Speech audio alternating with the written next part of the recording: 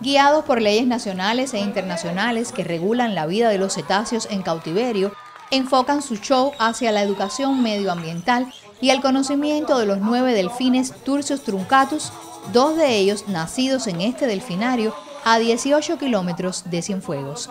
Malú, Perla y Oceani hoy muestran su excelente salud y entrenamiento en un espectáculo que dedican particularmente a estos nuevos visitantes. Alumnos del décimo grado del preuniversitario Martín Diego comienzan aquí una nueva etapa del proyecto Manos al Mar, iniciado a finales de 2019 por la Oficina del Conservador de la Ciudad, en alianza con Habana Club Internacional, y que durante la pandemia no detuvieron acciones de saneamiento en el litoral.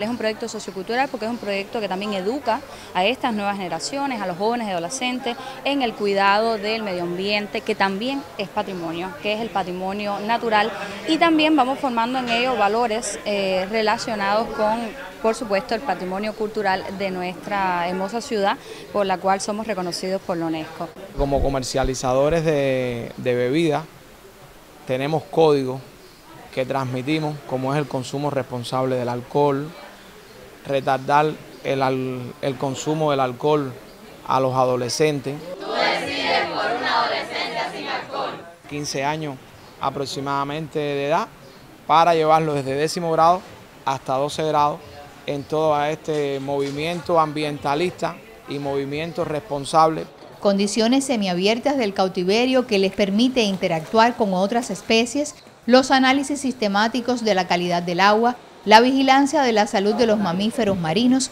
motivaron la charla que abre los nexos de la instalación de la extrahotelera Palmares con manos al mar. Estamos frente al mar Caribe, los vientos del sur arrastran eh, la suciedad, lo que dejan la gente en las playas. Y esto, por supuesto, trae un impacto a largo plazo sobre nuestros animales. Y en buena hora ha llegado este proyecto a, nuestras vidas, a nuestro quehacer, porque nos ayuda a incentivar la cultura de, cuidar el medio ambiente, la importancia de cuidar. He aprendido sobre su reproducción, que no tenía mucha idea, solamente se puede reproducir una vez.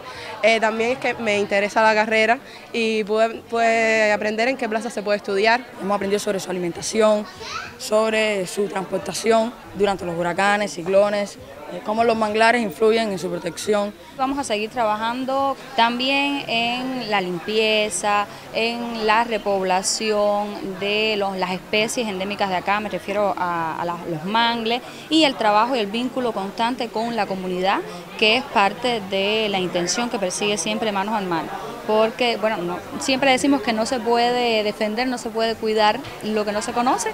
Como conclusión de esta peculiar clase, la interacción con los cetáceos sellando el pacto de cada uno con el cuidado del entorno que los acoge en el litoral sur de Cienfuegos. Ismari Barcia, Notisur.